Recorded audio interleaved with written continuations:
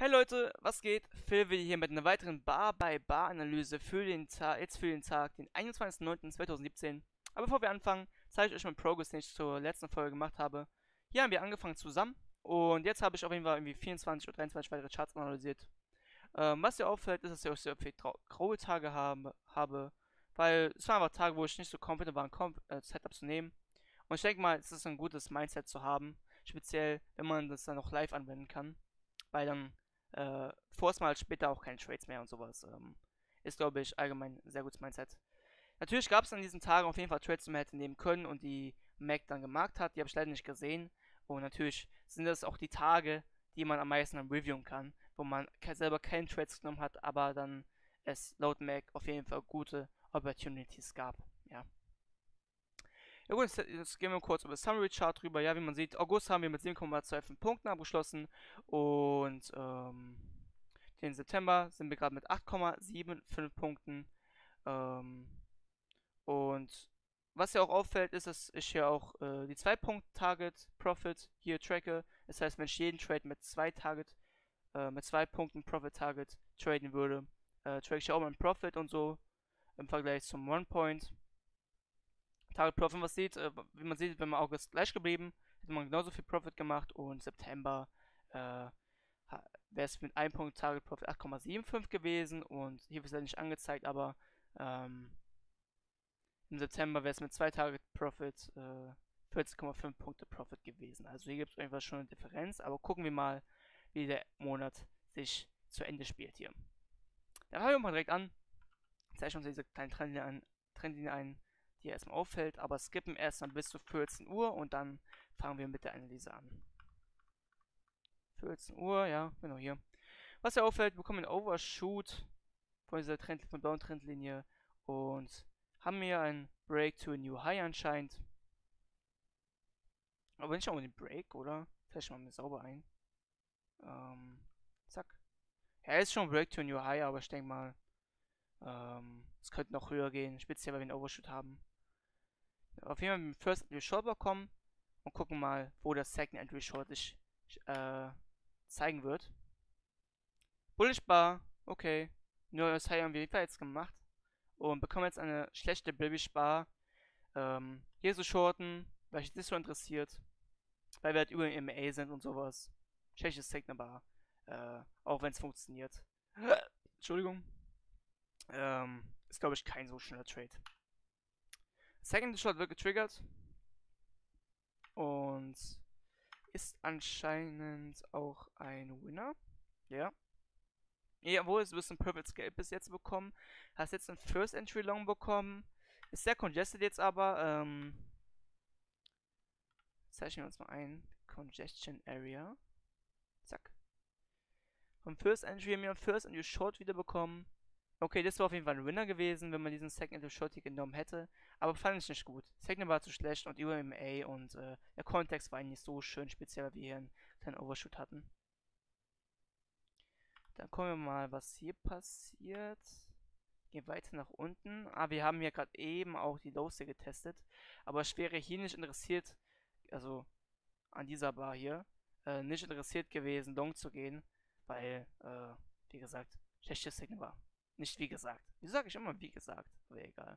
Ähm, schlechtes Signal und ähm, es ist gegen den Bias, weil das hier ein Fade Breakout hier zu traden ist für auf jeden Fall zu aggressiv, weil wir haben hier im Pre-Market hier schon die ganze Zeit so ein bearish ähm, Mindset gehabt und wenn, wenn ich ein Fade Breakout traden würde, dann nur to the Upside und ähm, das ist auf der falschen Seite leider, weil es könnte hier gut weit nach unten gehen. Ähm, würde auch niemals getriggert. Bekommen jetzt eine Bullish Bar, wie gesagt. Ich würde immer noch nicht long gehen. Das ist gegen unseren Bias. Das Tank Entry Long, wird getriggert. Will ich die Trap nehmen? Auch nicht unbedingt. Ähm, weil äh, ist ein Triple Test dieser Area hier, Support-Linie, ist mir zu aggressiv. Ähm, okay, Congestion Area, bekommen hier wieder schöne Bearish Bar. Aber finde ich halt zu aggressiv. Jetzt speziell, weil wir jetzt in Congestion Area sind. Ja, es ist todeseng dort drin. Es sind mehrere Overlapping Bars und hier eine Doji, hier eine zweite Bearish Doji. Kannst du nicht machen. Kannst nicht argumentieren, die Trades nehmen. Gucken wir mal, was der Preis mal jetzt macht. War no, so noch ein Doji, also ist unglaublich. Jetzt kommst du ja in Lower High, aber immer noch zu eng alles. Tags off anscheinend. Ähm. Okay, bekommen wir anscheinend unseren Second Entry Long. Bei diesen High hier. Finde ich zu aggressiv.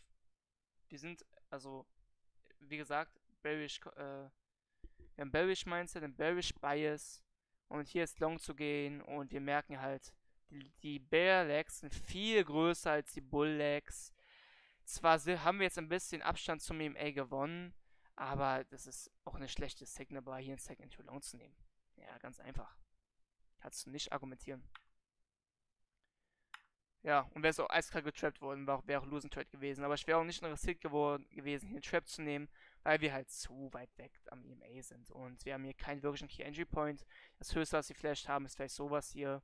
Ähm, aber es ist auf jeden Fall zu aggressiv.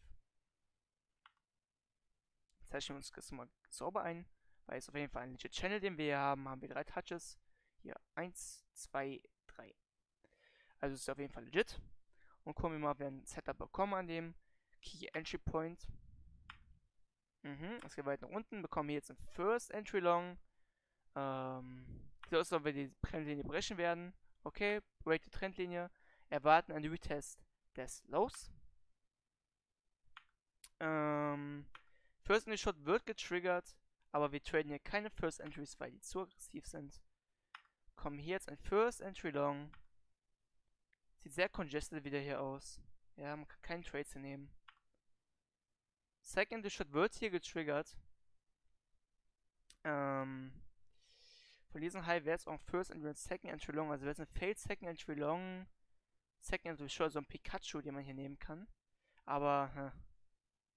Congestion Area. Zwar ist es am EMA, das gefällt mir. Ähm, aber die Second Bar, wo der Second Shot getriggert wurde, ist nicht so schön. Also würde ich Trade nicht nehmen. Ja. Da kann man argumentieren, yo, wir warten äh, ein Retest der Lows und wir haben einen, einen, einen Trap und einen Secondary Short. Ähm, ich denke mal, das kann man argumentieren zu nehmen, aber ich persönlich eher nicht, ja.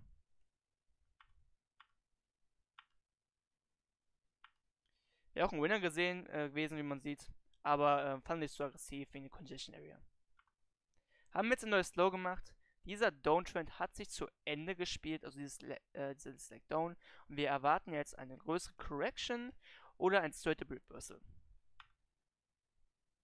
Haben hier jetzt ein First Entry Long. Gehen wir in die Congestion Area, piercen einfach durch, durch den EMA, bekommen ein First Entry Short. Ähm, Virtual Long gehen. Das wäre auch ein First Entry Short Breakout Pullback. Zwar aggressiv, aber weil es ein Breakout Pullback ist, kann man glaube ich argumentieren, das zu nehmen. Ja. Aber würde ich selber nicht nehmen. Aber dadurch, dass es halt diese Ticks nach unten gab, ja, und dass wir ein Breakout Pullback haben, also dieses, die ähm, Resistance Area, diese Congestion Area getestet haben, ähm, Resistance turns into Support, kann man diesen Trade, glaube ich, nehmen. Ich würde ihn jetzt selber nicht nehmen, weil der mir zu aggressiv ist. Aber da, da wir halt diese Trap hier haben und hier ein paar Shorts getrappt haben, die hier nicht mehr Short gehen sollten, weil wir schon Break und in New Low hatten, kann man es auf jeden Fall argumentieren. Aber für mich ein bisschen zu aggressiv. Ich will nur die allerbesten Setups nehmen, wie gesagt. Du wirst auch nicht niemals getriggert hier über dieser Bar. Also ähm, ist der Trade niemals passiert. Jetzt bekommst du aber was viel Schöneres. Du bekommst hier ein First Entry, ein Second Entry Short, ein Failed Second Entry Short am EMA, am Breakout äh, und am Top der Trading Range. Den Trade muss ich leider nehmen. leider.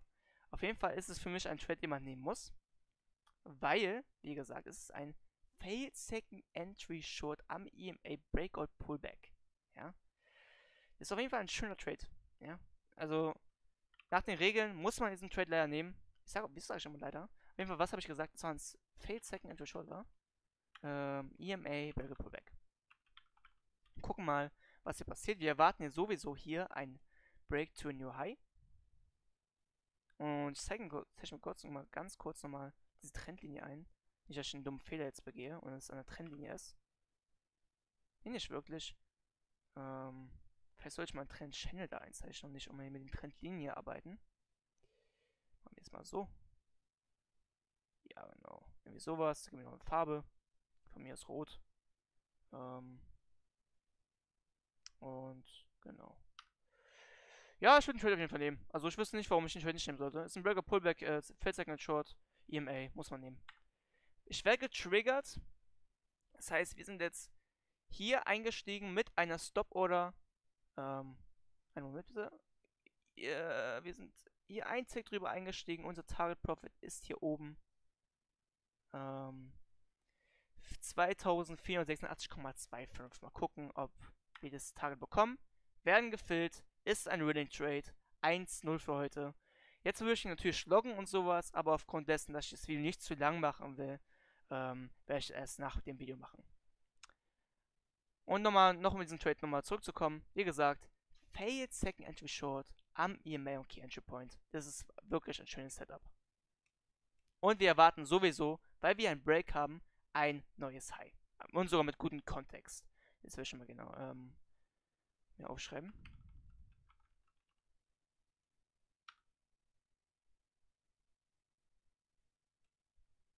Gucken wir mal, ob wir hier jetzt... Okay. Eine Bearish Bar. Ist es ein Second into Short? Ich glaube nicht. Weil wir hatten hier, hier den First into Second into Short. Nur ein First into Short. Ist auch, ist auch ein Candy Point. Den möglichen Candy Point. Aber da wir halt hier ähm, sowieso ein Break und ein New Low hatten hier, ähm, würde ich auf jeden Fall kein First Entry dort einfach so am Entry Point nehmen. Ist viel zu aggressiv. Der First Entry wird getriggert. Und anscheinend wurden die getrappt. Okay, selbst in Congestion Area aus, aber kein Trade für mich. Zwar hast du hier ein First Entry bekommen, aber äh, bekommst du leider kein Second Entry Long, weil diese Bar hier niemals ein neues Low, äh, oder beziehungsweise niemals unter diese Bar hier getaked, hat, äh, getaked ist. Entschuldigung. Äh, das ist wahrscheinlich ein Second Entry Long, die halt die Leute wahrscheinlich trappen kann. Oh, das ist ein schwerer Trade jetzt. Was für ein Trade spricht, okay? Ist wieder, dass es ein Failed Second Entry Short ist und ein Second Long. Das ist so ein Pikachu-Trade. Wenn wir, gibt es eine größere Trendlinie. Ich will jetzt mal gucken in einer größeren Trendlinie. Mhm. Anscheinend ist eine größere Trendlinie into, ups, was da passiert? Eine größere Trendlinie into Play. Wenn man sich das anguckt. Die sind genau Ups, warum war die denn weg? Wir sind genau an dieser Trendlinie gebounced. Ne? Und die hat ein Touch, zwei Touches, drei Touches und ist somit jetzt into play. Jetzt ist die Frage, will ich jetzt einen Tick darüber long gehen? Was wir wissen, ist, dass die Stops von den Leuten, die hier short gegangen sind, genau ein Tick über dieser Bar sind. Also die sitzen genau hier. Und wenn wir diese Stops erreichen sollten, ja, dann schießen wir, glaube ich, kraftvoll nach oben. Das heißt, ich würde dann hier entry, mein Target Profit wäre hier. Und ich würde sagen, den Trade würde ich nehmen. Ja. Es ist zwar aggressiv, würde ich sagen, weil wir. Es sieht ja ein bisschen congested aus. Ich glaube, da kann niemand was dagegen sagen. Und die einzige Art und Weise, diese Congestion Area safe zu traden, ist halt die Breakouts zu faden. Aber dadurch, dass wir einen Pikachu hier haben, und ähm, wir wissen, dass es, äh, wir sehr nah an den Stops gerade sind und ein schönes Signal Bar bekommen und in der Nähe des EMAs sind. Noch schöner wäre der Trade natürlich gewesen, wären die Shorts bis zu den, äh, bis zum EMA gegangen, dann wäre es einfach ein Blower Trade gewesen. Aber für mich ist es nur ein grüner Trade.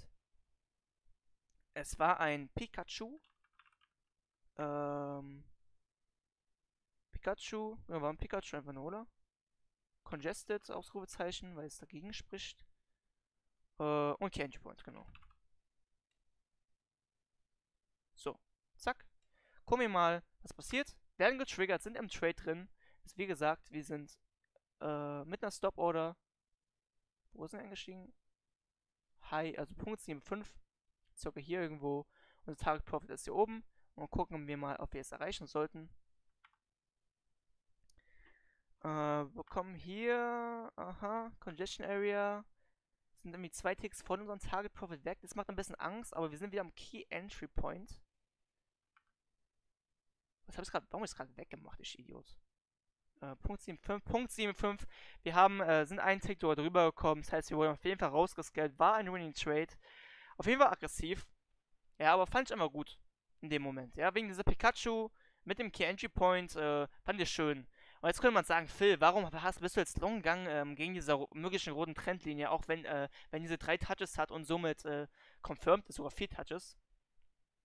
Ähm, ja, ja, ich habe mir, wie gesagt, wenn man sich anguckt, Break to New Low, dieser Downtrend hat sich zu Ende gespielt und dadurch, dass wir halt hier schon Fade Second Entry Short hatten, sind die Shorts anscheinend schon schwach, ja. Ähm, und dadurch, dass wir jetzt noch einen Second, Fade Second Entry Short bekommen haben, ähm, war für mich so die Wahrscheinlichkeit eher gering, dass wir jetzt nur doch nach unten kommen, wenn wir schon zwei Second Entry Shorts hier aufgetreten äh, sind und wir diesen möglichen Key Entry Point hier haben. Ähm, ich diesen Trade genug, aber ich kann absolut verstehen, wenn man sagt, das ist zu aggressiv für jemanden. Aber ähm, für mich war es halt gerade so genug, um zu argumentieren, äh, diesen aggressiven Trade zu nehmen. Dann werde ich ihn kurz nochmal sauber markieren. Ähm, Gold und äh, Big. Zack. So.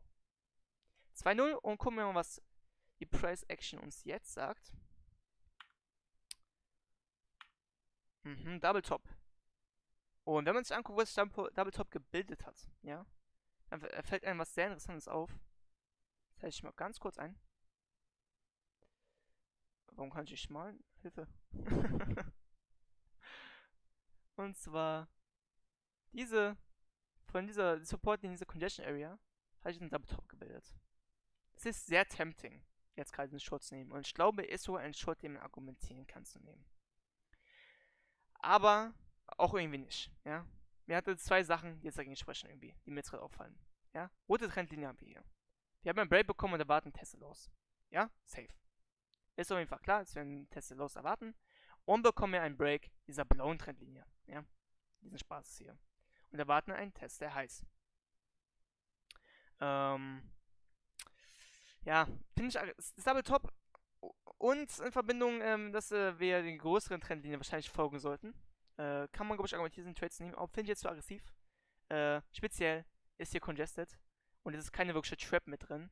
Ähm, wie zum Beispiel in diesem Fall. Hier war halt eine Trap drin, was diesen Trade hier viel schöner gemacht hat als diesen hier. Äh, als äh, diesen möglichen hier. Also würde ich den jetzt einfach jetzt auslassen. Du hast eh niemals getriggert alles, alles irrelevant. Okay, jetzt kommt eine Bildspar.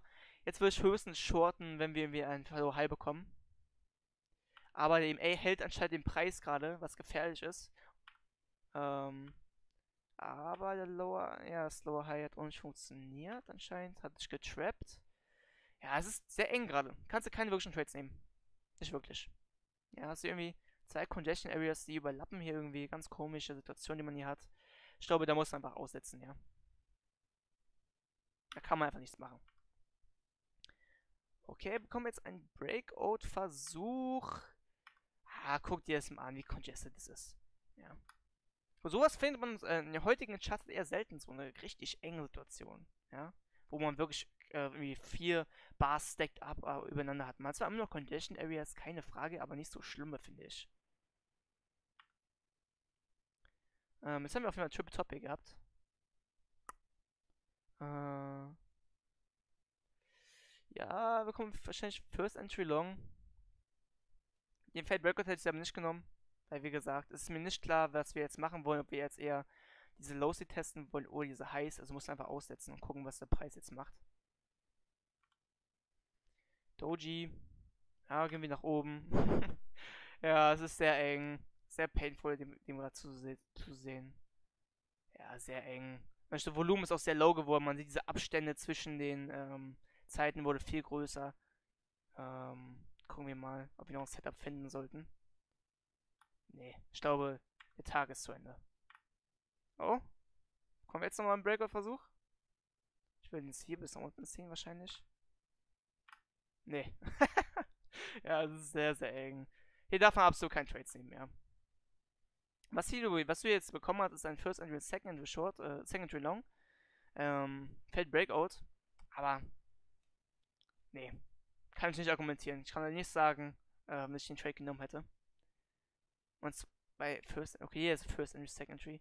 Nee, wäre sogar hier First Entry nur gewesen.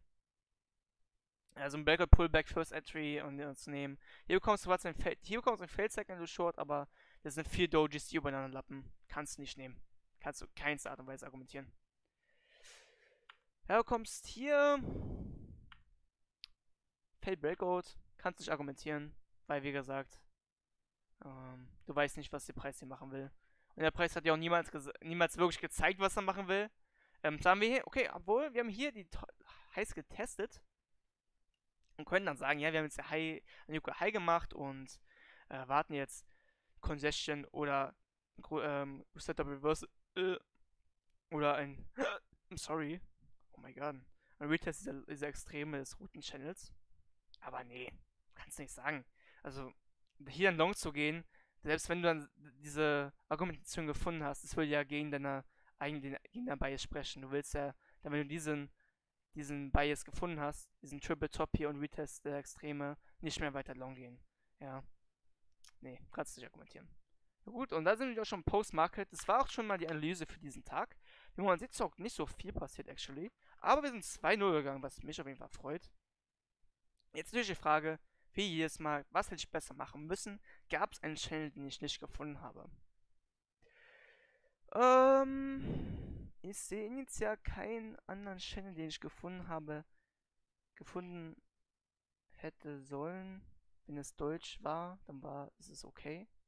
Ähm, nee.